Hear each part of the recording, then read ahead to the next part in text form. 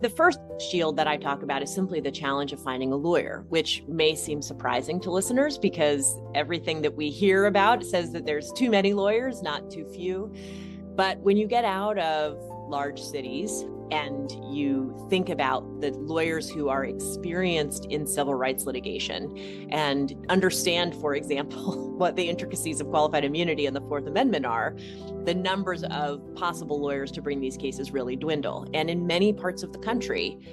there simply are not lawyers with expertise in bringing these cases or who are willing to bring these cases.